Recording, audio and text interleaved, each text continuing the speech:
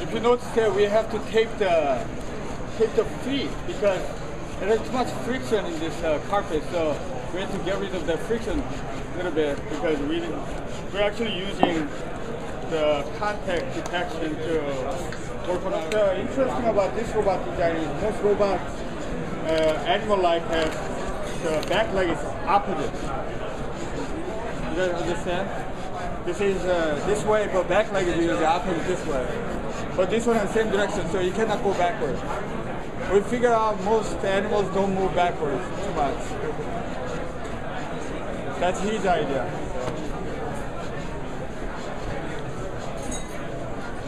So that's main difference from all other ways to figure out. Are there any springs? But uh, obviously, if it's not hard form, domov ide kompleksnim Shit is. Yeah. Kumara, kumara. Eat it. Too long.